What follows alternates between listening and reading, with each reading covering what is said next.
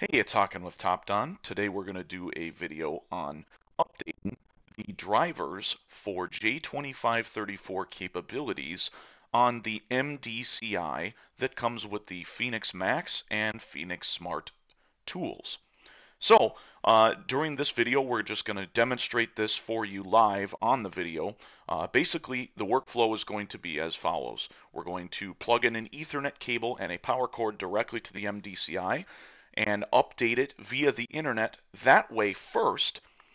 Then, after that update completes, we're going to plug in the MDCI to the computer. We're going to disconnect the Ethernet from the MDCI and just use the USB cable. And then we will update it using the J2534 suite. So, without further ado, let's show you the video so you can see the steps. Hey, it's Haakan with TopDon and we're going to show you a couple of quick tips and tricks to update your MDCI Pro, uh, which is also used for J2534 functions. If you are having problems updating your J2534 using the PC suite, then we would recommend that you take the following steps. First thing we're going to do is we're going to connect the Ethernet cable directly to the J2534. Then we are going to connect an independent power supply. The power adapter that comes with the tablet should work just fine. So we're going to plug that in. And then what you're going to see is it's going to power up. And we're going to see what version it is at. Now it's automatically going to check itself for an update as soon as it powers up. So we'll give it just a second to do that.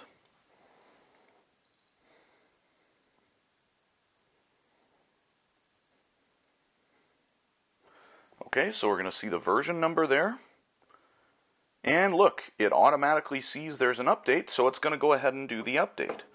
So we're going to give it a few minutes to complete this process, and we'll come back when the update is completed. Then we'll show you what the next steps are.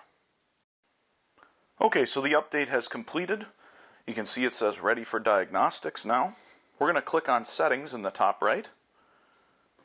And then we're going to look at the version. And here is the latest version. 1105 1064. The big thing is the 1064. So you want to make sure yours has been updated to this version. Now we're going to disconnect the Ethernet cable.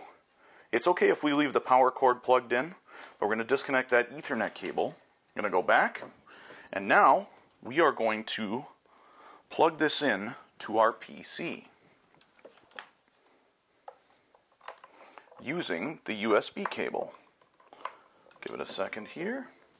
Okay, so we are connected to the PC now. We've got our J2534 program here on the far left. I'm going to go ahead and open that up. Now, if you didn't run it as an administrator, you should run it as an administrator. So you can hold down Control on the keyboard or right click and run as an administrator. We're going to hit yes. Okay. So we should see this. It's going to come up and show us the version of the tool. Now, you should see that the serial number on the tool, which is right here, actually matches what's on the screen. 129. So, it does not match. So we're going to actually hit upgrade, and we'll see if it matches up after it upgrades it should ping the tool when we hit the upgrade button. So we'll give it a moment here, and we'll find out if it's going to complete the upgrade. So if for any reason it closes out like that, we're going to go ahead and right click on it again, run as administrator, go ahead. Okay, now it shows the proper uh, serial number, so we're going to go ahead and hit upgrade and we'll see if we get any changes.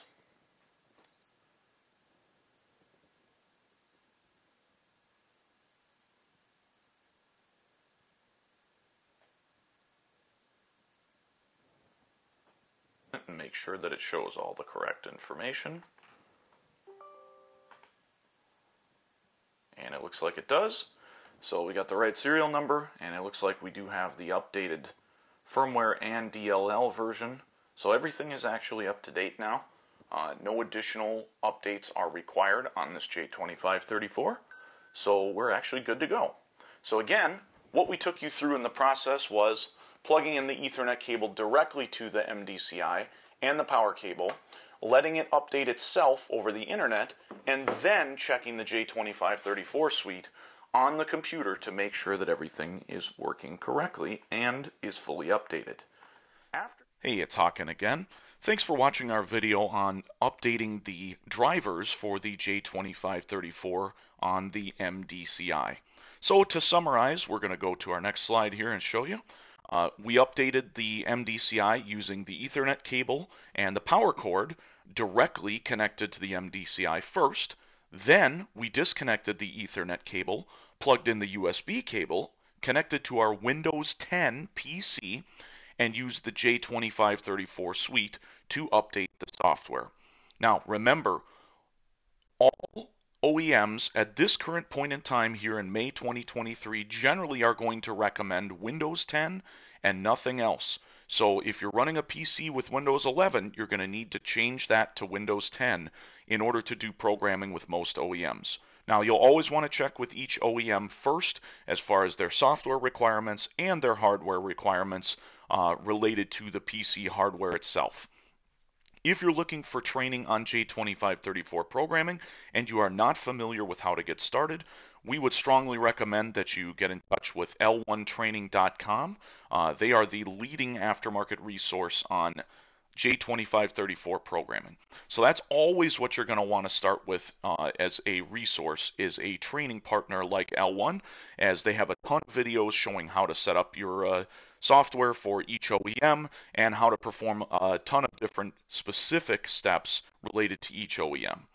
Uh, you need to also know that you cannot use one PC with one partition to program lots of different vehicle manufacturers. So if you're trying to do a Ford and a Mazda, you cannot have the software living on the same hard drive partition. This is a big no-no and it will cause unresolvable conflicts between the software, which will prevent you from being able to complete those programming events. So, if you are looking for a laptop that is already pre-set up and will be able to do all of programming that you're looking for uh, with J2534, then you would want to explore a pre-set up laptop from a company like AutoRescueTools.com. Uh, they make laptops that are already set up to program given vehicle manufacturers. Uh, basically, you let them know which brands you expect to program, and they will set up the laptop appropriately so that there are no issues between different softwares. They can also make sure that your drivers are installed before they send you the laptop as well. So, really cuts down on the headaches. If you don't know much about programming and you want to have a deeper understanding of what J2534 programming really is, we're going to take you to another slide here hit this QR code with your phone or with your tablet and watch this video. This is a high level overview of programming. It's about a 40 minute video, but it will give you a lot better understanding of what J2534 programming is versus the other types of programming that exist out in the market. So, strongly recommend if you're new to this, this is a great video you should watch. Yes, I made it on my personal YouTube channel. However, you will find this to be extremely helpful in getting comfortable with the subject matter. So, hopefully this video was helpful to you on updating your MDCI uh, J2534 driver. If you do have questions, US or Canada, remember www.topdon.us. Our hotline number is right on there. If you are outside the USA, please contact your distributor for support. And I'm Haakan, and thanks again for watching our video.